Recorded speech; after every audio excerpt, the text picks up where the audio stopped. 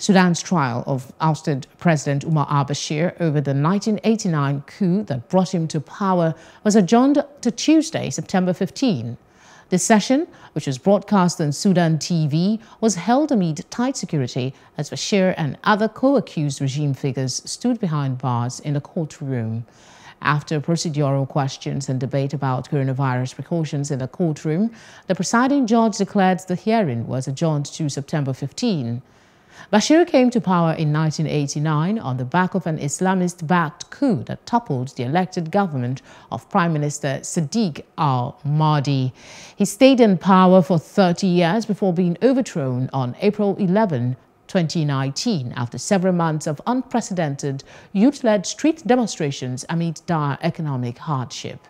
If convicted, Bashir and others could face the death penalty.